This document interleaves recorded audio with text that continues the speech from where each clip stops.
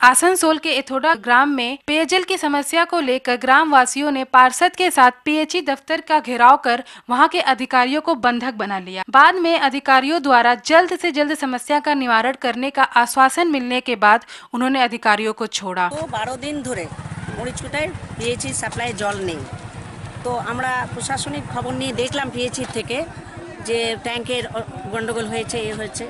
তারপরে যখন ওদের সারাই করার পর জল ছেড়েছে, দেখা গেল মরিচকুটায় জল আসছে না। এই দেখা গেল চেক করে যে এক জায়গায় পাইপ ফেটে গেছে। একদম ফেটে গেছে। সেইটা চেঞ্জ করলে জলটা চলে যাবে। কালকে যখন ওই কাজটা করতে এসেছি পেয়েছি তখন এখানকার কিছু লোকজন বলেছে যে আমরা করতে দেবো না। তবে হ্যাঁ তার সঙ্গে ওদের একটা দাবি রয়েছে যে, আমাদের পাড়ায় জল করতে হবে। এটাও চাই। এইটা নিয়ে এদের একটা মনোমালিন্য চলছে বলে কাজটা করতে দিচ্ছে না। প্রশাসনিক এসেছে, আমরাও এসেছি।